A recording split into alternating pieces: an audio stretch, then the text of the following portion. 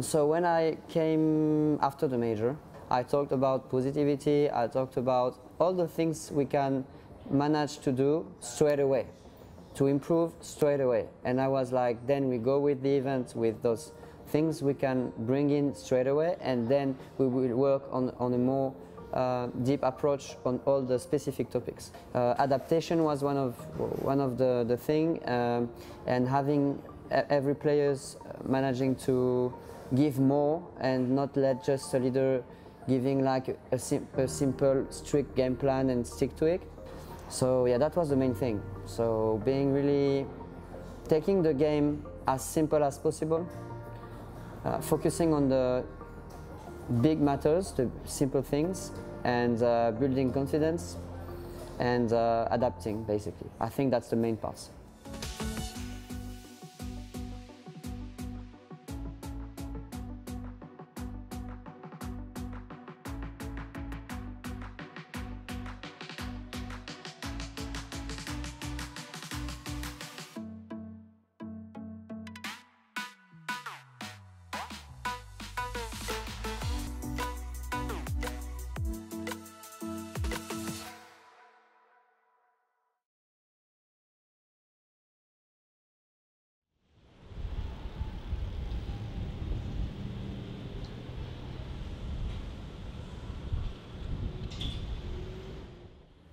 Là, le. euh, Alors là, non, bah non, tu... non mais là c'est sûr que ça tombe, ça, ça tombe T'es le pire quoi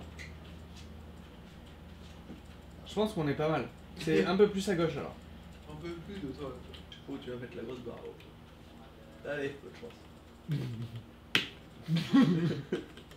Elle est bien là. Elle est Je pense bien, là. Pas mal là. Bah So before, after the major, uh, we decided to to play a bit differently, at least for uh, the way to practice. Uh, we decided to to give more uh, freedom to like every player. Uh, we played without calls uh, during like one week or just some little calls, but just let play about the adaptation to give more freedom and more power to every player. Wait, wait. Beat uh, those two, so put up cash. All right. Good luck, buddy. On dit cri. On est ensemble, c'est ensemble. Ouais 3, 3, 2, 1. Coming into this one, then FaZe Clan obviously going to be choosing the CT side, and guarding. Oh, going to no. be choosing the head there from SmithZz early on. The aggression on this. They just go for the mid crunch. They've had two kills. Luckily, kennyS flicking away with the gaff. Kenny finds himself a hat trick of frags and saves the day already for G2 as this round looks like it should have been an opener for FaZe Clan. Flashing through the smoke, walking right into their de- death and demise. Oh. Ooh, nice little 4K there from bodyy. Smoke's coming down. Smith still defending, waiting to see if anyone else is going to push through from balcony.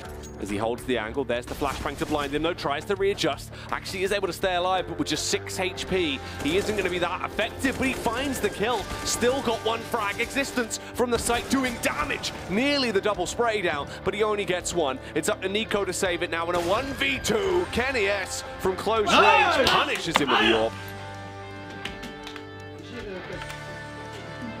G2 going to be on the T side, FaZe Clan over on the CT side as we kick it off. It's looking good for G2 so far. They're bludgeoning down everyone from FaZe Clan, hitting huge shots. SmithZz has had himself a hat trick, and he looks for more. Runs into the unknown and does go down as he gets gobbled up by the GuardiaN. The GuardiaN is gone. Punish there. The shox will silence him, and G2 get the opening round.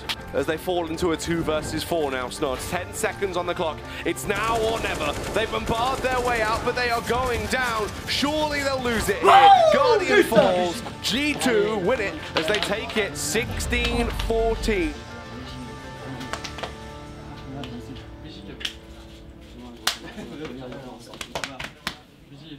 The team has been great as a unit, and I'm really, really impressed by um, the composure of uh, Comme au major Ex6TenZ and Smith. Um, they were like a bit stressed lately and uh, with the communication, late rounds and stuff. And uh, I'm really amazed because in a few days we spoke a lot about those things, and uh, they stayed really calm and uh, controlling the game really well, uh, even though it was really tough to, to, to end that game.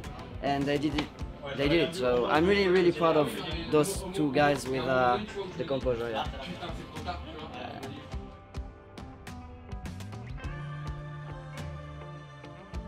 We, we knew that's gonna be a very hard game against FaZe.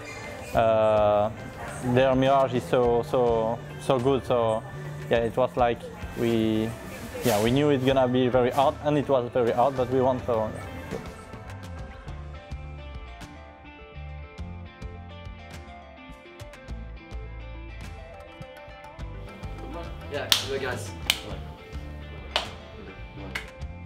we are playing uh, Cache, Inferno, and Overpass. Uh, we feel pretty confident on free maps, on all the free maps. So, so yeah, we're happy with the veto right now, but uh, they are still one of the best team in the world. So it's gonna be tight and a really good battle.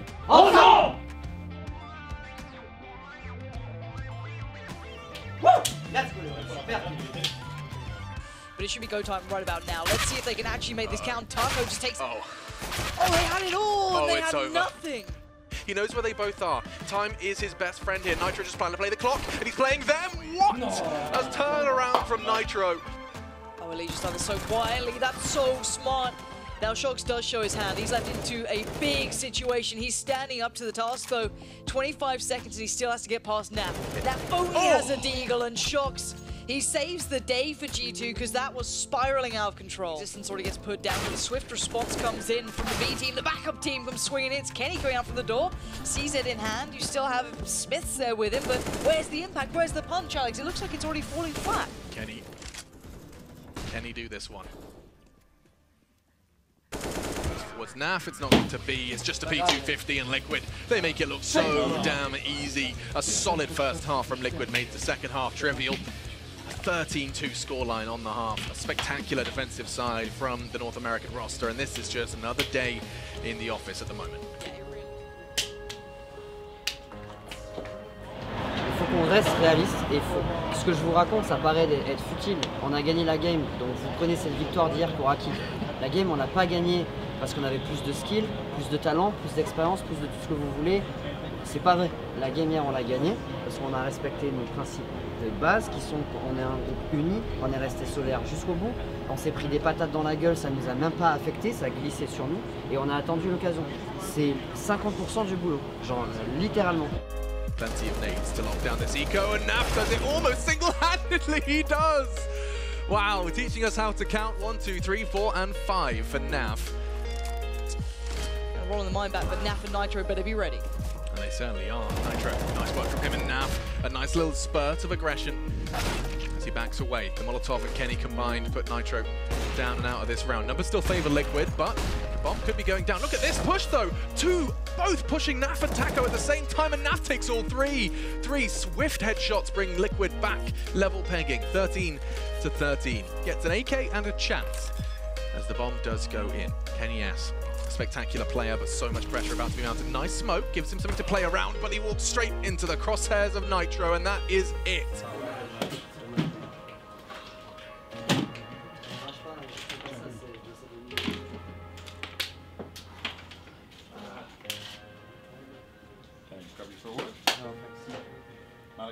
Uh, no, some, someone else, maybe Richard.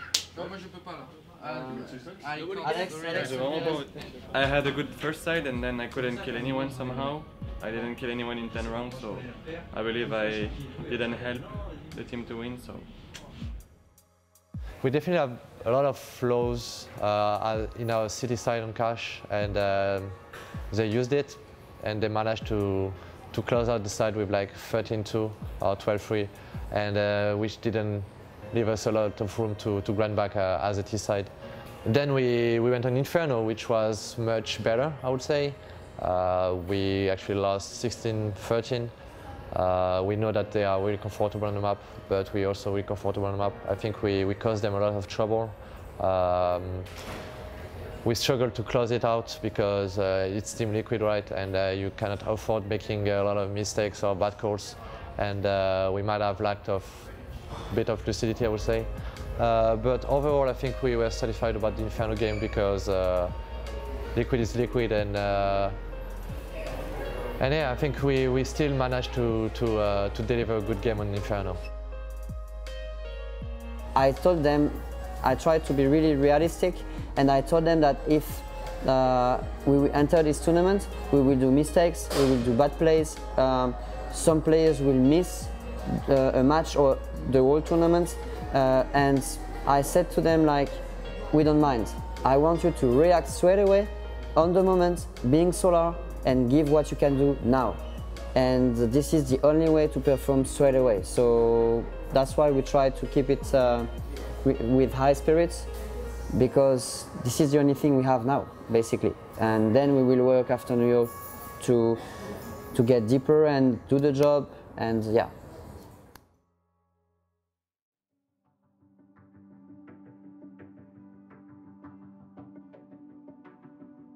There's all that potential and we see it time and time again. We look at those names, but right now, not delivering. Let's see if this round kind of uh, stays true to that. Or it looks like G2 are going to start this one off well. Today, they did manage to start oh so strong, and as they do it again, fantastic pistol work so far. SmithZz to find one, his body's got himself a double as well. Just daps on the site, and that is the end of that one. A real easy situation for G2 to close out. But the bomb goes down, so there is a little bit of something special for NRG. They'll have an extra cash coming into this next round. bodyy, though, the first man in, the desk saying he needs to be a player in this. It needs to be a little bit more than what we saw. The flamey, as they like to say, but down to three still alive. The bomb plot isn't perfectly for main, but it's good enough as the kills oh. are coming in. And they are coming in thick and fast. What a play coming out in the end. Good spot, and Kenny now kissing them in the smoke. Kinalu dancing around. Good work from him as he's managing to find a frag and get away scar-free. Body in shox as well from the other side of things. These wall bangs actually do connect eventually. Kenny, oh, I can't believe it! oh my god, four times the charm, a bullet through the wall and two bodies drop. That's the end of the round. Only Kenny. This is not good. Down to 46 and forced to back away from Heaven. Good utility usage from NRG. Bomb in as well, courtesy of Ethan. Ex6TenZ is on the flank though, and CeRq should get caught off. Now a 2v2. Close. That's not expecting the second. FugLy, it's all on Kenny to try and save G2, but it's Ethan to close it.